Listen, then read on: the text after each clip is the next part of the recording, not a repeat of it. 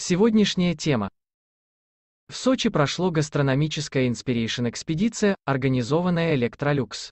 Мероприятие на Красной Поляне посетили актер Максим Виторган, телеведущая Мария Кравцова, певица Ёлка, стилист Михаил Барышников, дизайнер Дмитрий Логинов и другие звезды.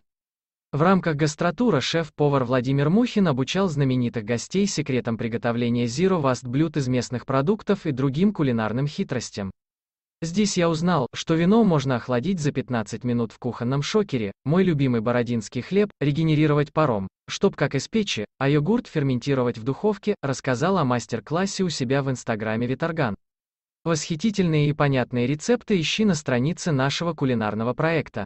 И выбирай самого неравнодушного блогера 2020 года. До окончания голосования осталось совсем немного времени.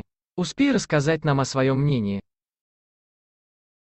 Ставь лайк и подписывайся на наш канал.